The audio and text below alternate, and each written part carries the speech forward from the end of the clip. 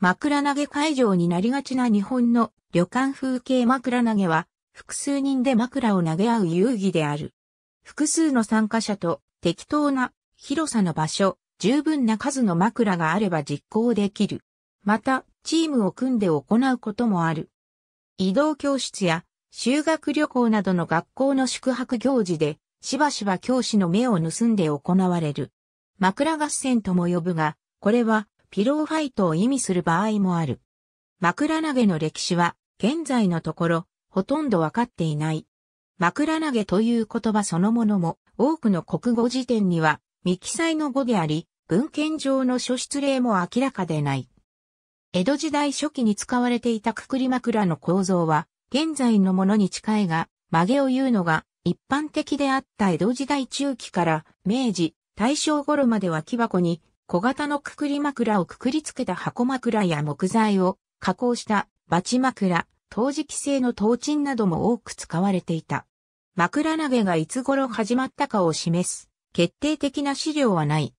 しかし、太平洋戦争末期に沖縄県から学童疎開した対馬丸の生存者による船内で枕投げに興じた旨の証言がある。聖泉国民学校の1943年、卒業生の体験談にも枕投げが登場する。西鉄観光バスが2004年、現在の段階世代向けに修学旅行を再現する旅行を企画したところ、再現の要望が一番強かったのが旅館での枕投げだったという。また、2010年には石川県の温泉旅館が同窓会向けとして枕投げ専用枕を用意するなどの宿泊プランを実施している。その背景には主に1950年代から70年代の修学旅行の話で枕投げの思い出が数多く登場するように枕投げが最も親しまれたのが段階世代だったということがある。比較的大規模なイベント等で行われる枕投げでは独自のルールが設定されることもある。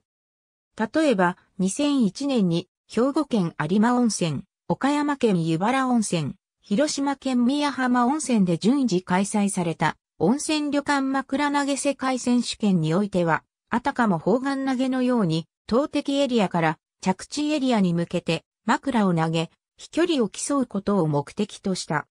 しかしながら、これは遊戯というよりは競技であり、一般にいわゆる枕投げの概念とは必ずしも相入れない。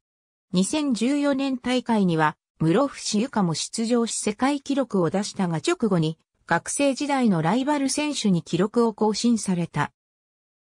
また、米、ニューヨークやサンフランシスコなどのピローファイトの催しが枕投げとして紹介されることがあるが、これは枕で互いに相手を長着する遊戯ないし一種の格闘であり、一般的に考えられている枕投げとは異質である。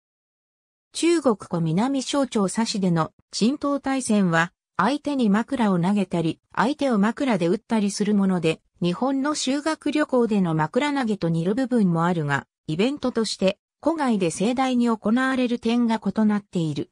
日本の伝統的な枕投げにルールを設定して、スポーツ化された全日本枕投げ大会。2013年には静岡県伊東温泉にて全日本枕投げ大会員、伊東温泉が催された。これは、枕投げのスポーツ化に近い8対8のドッジボール形式で開催されている。ルールは40畳のフィールド内で温泉浴衣を着用し、クラッシュラテックスの素材を使用した専用枕を使って行われる。大将、アタッカー、リベロ、サポーターという4つの役割が存在しており、布団を縦にして防御が可能。大将が当たったらその場で負け。先生が来たぞコールによって10秒間試合の進行を止めて、相手陣地の枕を回収ができると、一般的にイメージされる枕投げに近づける形で実施された。伊東温泉だけではなく、全国的な予選会へも発展している。ありがとうございます。